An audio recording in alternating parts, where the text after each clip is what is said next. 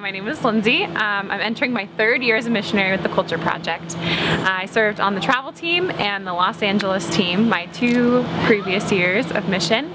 And one of my favorite memories from speaking in the classroom is an encounter I had with a student when I was in Ohio.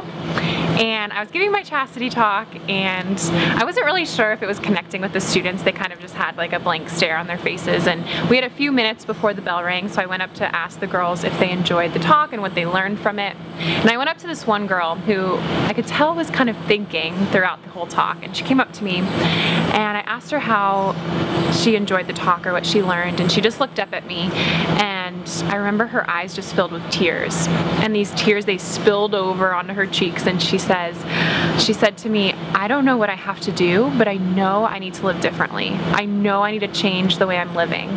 She went on to talk to me about just some of the relationships she was in and how they were really just uh, relationships of use. And she felt like she was made for better. Um, and I was able to talk to this student for a while about her dignity and her value. And I could tell when I was speaking to her that these were things that she was really discovering for the first time.